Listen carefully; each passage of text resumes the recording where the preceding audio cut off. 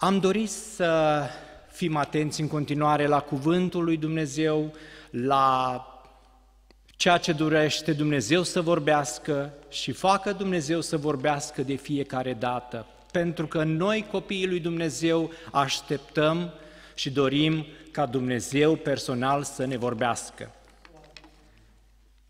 În seara aceasta o să ne apropiem, o să poposim puțin în Filipii, în cetatea grecilor, și am să dau citire la câteva versete, de la 20 în jos, Filipeni, capitolul 1, de la 20 în jos. Mă aștept și nădăjduiesc cu tărie că nu voi fi dat de rușine cu nimic, ci că acum, ca întotdeauna, Hristos va fi proslăvit cu îndrăzneală în trupul meu, fie prin viața mea, fie prin moartea mea, căci pentru mine a trăi este Hristos și a muri este un câștig. Dar dacă trebuie să mai trăiesc în trup, face să trăiesc și nu știu ce trebuie să aleg. Sunt strâns din două părți, aș dori să mă mut și să fiu împreună cu Hristos, căci ar fi cu mult mai bine. Dar pentru voi este mai de trebuință să rămân în trup. Și sunt încredințat și știu că voi rămâne și voi trăi cu voi toți pentru înaintarea și bucuria credinței voastre. Pentru ca prin întoarcerea mea la voi să aveți în mine o mare pricină de laudă în Isus Hristos. Numai purtați-vă într-un chip vrednic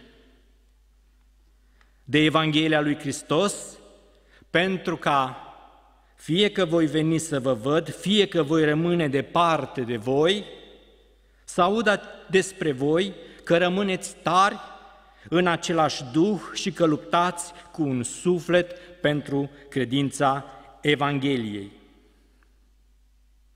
Fără să vă lăsați înspăimântați de potrivnici, lucrul acesta este pentru ei o dovadă de pierzare și de mântuirea voastră și aceasta de la Dumnezeu, căci cu privire la Hristos, vouă vi s-a dat harul nu numai să credeți în El, ci să și pătimiți pentru El și să și duceți, cum și faceți, aceeași luptă pe care ați văzut-o la mine și pe care auziți că o duc și acum.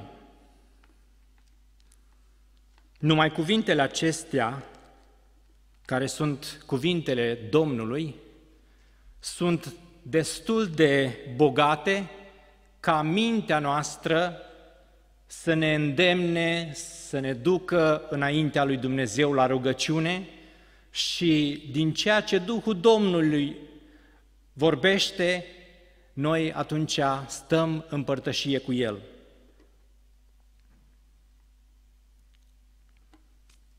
Face să trăiesc, spune Pavel. Dar dacă trebuie să mai trăiesc în trup, face să trăiesc. Ce să trăiesc? Unde să trăiesc și cum să trăiesc în trup? Și atunci eu mi-aduc aminte cine sunt, că sunt un copil de Dumnezeu și că Dumnezeu lucrează într-un mod deosebit. Epistola începe cu versetul 1 care zice Pavel și Timotei, robe al lui Isus Hristos, către toți sfinții în Hristos Isus care sunt în Filipii, împreună cu episcopii și diaconii. Și atunci eu aș spune altfel. Cristi, roba lui Isus Hristos, către toți sfinții care sunt în Râul Sfânt din Londra și din alte biserici și din România și de pretutindeni, împreună cu episcopii și diaconii, este o epistolă scrisă de un apostol. Sunt eu apostol? Nu. Eu n-am scris nicio epistolă. Eu n-am scris nici măcar o carte. Dar atunci, atunci noi venim la casa lui Dumnezeu. Ce să facem aici? Printre altele, face să trăiesc în casa Domnului, pe pământul acesta, pentru bogăția lui Hristos, care este biserica lui. Domnul Iisus Hristos, când a întrebat despre poruncile lui, el însuși ne-a spus să iubești pe Domnul Dumnezeul tău cu toată puterea ta, cu toată inima ta, cu tot sufletul tău, cu tot ce ai tu de altfel. Și a doua asemănătoare ei, să iubești pe aproapele tău ca pe tine însuți. Rostul nostru pe pământ, printre altele, slava și gloria este a lui Dumnezeu, iar mai departe sunt copiii lui Dumnezeu. În oricât de mare număr i-a chemat Dumnezeu, îi cheamă și îi va mai chema până numărul de plin al neamurilor se va termina. Și atunci, noi am poposit în Filipii să vedem ce avem de spus unii pentru alții, ca și îmbărbătare, ca și cuvânt de învățătură, ca și îndemn. Deci eu n-am scris nicio epistolă și mă aflu în fața voastră. Face să trăiesc pentru înaintarea credinței voastre. Cum vă pot eu fi de folos domniilor voastre? Eu nu sunt păstor, nu sunt diacon sau orice altă slujbă, Aș putea eu să vă fiu de ajutor? Cuvântul pe care l-am citit ne învață ce ar trebui să facem și unii și alții. Și totuși, eu nu sunt Pavel, eu nu umblu din biserică în biserică, eu nu sunt departe de voi și atunci eu trebuie să vin să văd cum este starea voastră și purtarea voastră. Ce sunt eu? Cum sunt eu sau cum ești tu? Face să trăiesc. Evident, face. Pentru că eu sunt copilul lui Dumnezeu și am Duhul Domnului în mine, iar roadele lui, pentru ce sunt? Am învățat că ele sunt pentru zidirea bisericii. Și atunci, indiferent cine aș fi eu, atunci, într-adevăr, face să trăiesc pentru tine și pentru mine și pentru alții. Și cum?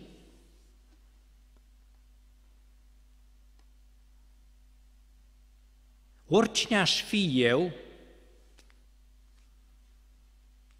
e bine să înțelegi lucrul acesta.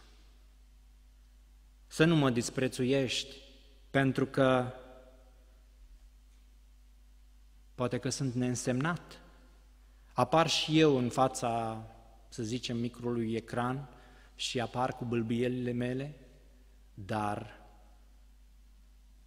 ar trebui să înțelegi că sunt copilul Domnului, fratele tău, și ceea ce pot să fac eu, poate că mă rog pentru tine. Și nimeni nu știe. Domnul știe. Eu nu spun asta că asta chiar fac pentru tine, Dau un exemplu ca noi să înțelegem. Oricât de mic și neînsemnat aș fi, face să trăiesc în trup pe pământul acesta pentru frații și surorile mele. Ca Pavel, n-am eu treabă cu Pavel. Ca un păstor, nici atât. Și încă mai mult de atât, eu ca și copil al lui Dumnezeu, că ești sora mea, fratele meu, că ești un om necunoscător de Dumnezeu, nu te-a interesat, n-ai știut de El, dar atunci să știi că eu te iubesc. Și mărturia este adevărată, altfel pacea și bucuria n-ar mai exista în inima mea de copil al lui Dumnezeu. La aceasta suntem îndemnați. Da, e adevărat, dragostea trebuie să și crească. Și ne rugăm lui Dumnezeu să ne ajute la creșterea acestei dragoste. Și știm că Duhul Sfânt, Cel care a început în noi această bună lucrare, o va desăvârși în ziua Domnului Isus Hristos. Dacă am merge mai departe, ce aș mai putea eu să fac? Sunt un simplu om? Eu spun asta pentru că adesea poate ne uităm la ceilalți care au uh, uh, capacitate, sunt chemați, sunt uh, vizibili uh, fiind la învoanele bisericilor, făcând anumite lucrări, dar tu sau eu stăm undeva ascunși, parcă nimeni nu ne vede. Și totuși noi vrem ca să nu facem umbră degeaba pământului, ci face să trăiesc în trup pentru nevoile bisericii. Oricât de neprețuit, oricât de mic aș fi, totuși ai nevoie de mine. Pentru că cel puțin biserica e mai, e mai plină, cu cel puțin o persoană, cu mine. Și te bucur poate când, când ai îndemn, parcă numărul e mai mare. Pentru că asemenea mie mai vin câțiva. Și parcă te simți îmboldit să predici, tu care predici, tu care dai îndemnuri, tu care, nu știu, când vezi că sunt mulți auditori. Și atunci te bucuri. Și eu stau în banca mea, așa cum sunt, și poate că în momentul acela mă rog pentru tine. Îndemnurile din uh, această epistolă a lui Pavel sunt multe, sunt frumoase. Pentru mine a trăi este Hristos și a muri este un câștig. Dar face să trăiesc în trup pentru Biserica lui Dumnezeu? Să nu credeți că mă aflu aici să mă vadă nu știu cine și tot trag cu biserica în sus, biserica în jos. Oricum și orice am vedea noi, chiar în sânul adunărilor lui Dumnezeu, Dumnezeu suspină și plânge, iar Biserica Domnului este vie, există și datoria noastră este ca să luptăm, să mijlocim pentru ea. Mai devreme sau mai târziu, fiecare vom greși împotriva vreunui frate sau vreunei surori. Dar Domnul ne va învăța să ne pocăim, să ne cerem iertare și să înaintăm pentru acești micuți ai mei. Căci Dumnezeu are milă de copiii Lui. Are milă de fiecare.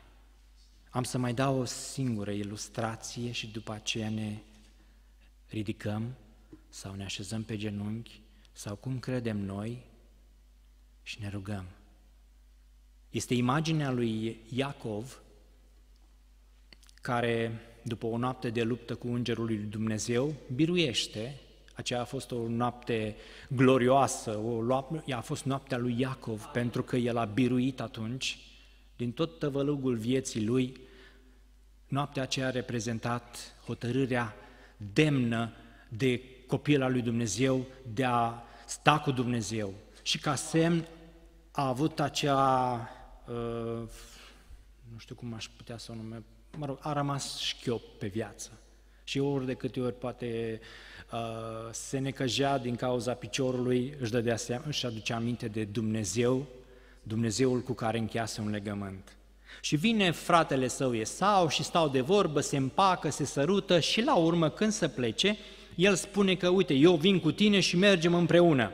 Și atunci el vine și spune că nu, fratele meu, tu du-te înainte, că eu stau la pas cu mieloșei, cu oițele, cu cei micuți. Dacă aș grăbi, aș uh, grăbi ritmul, ar muri. E o imagine, eu cel puțin mi-am luat-o pentru cei care au nevoie de un sprijin în plus în casa lui Dumnezeu. Pentru că sunt copii al lui Dumnezeu și de genul lui Esau în sensul că sunt, uh, uh, să zic așa, energici, uh, gata să facă lucruri deosebite și sunt copiii Domnului, dar și aceia micuți sunt tot copiii lui Dumnezeu și Dumnezeu merge la pas cu ei.